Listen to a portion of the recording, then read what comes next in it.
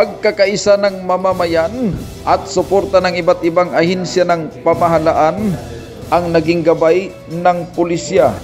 At para masigurong payapa sa Barangay San Martin, Villanueva, Misamis Oriental, Provincial Headquarters nagsagawa ng Provincial Joint Peace and Security Coordinating Center meeting pinamunuan ni Police Provincial Director Gonzalo Villamor Jr. bilang paghahanda sa pagbubukas ng piece-to-piece na klase. Ah, nag-coordinate na, na ta sa atong ah, counterpart sa DepEd yun sa atong area of responsibility.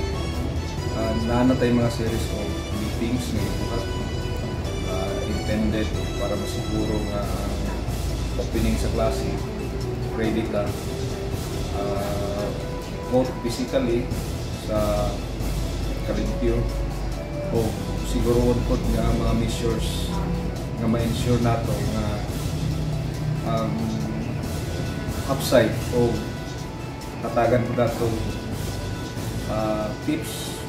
Ang mahalagang okasyon ay dinaluhan ng Command Group Staff at 58th Infantry Battalion ng Philippine Army, Lieutenant Colonel Ricky Canatoy at Coast Guard Station West, Misamis Oriental.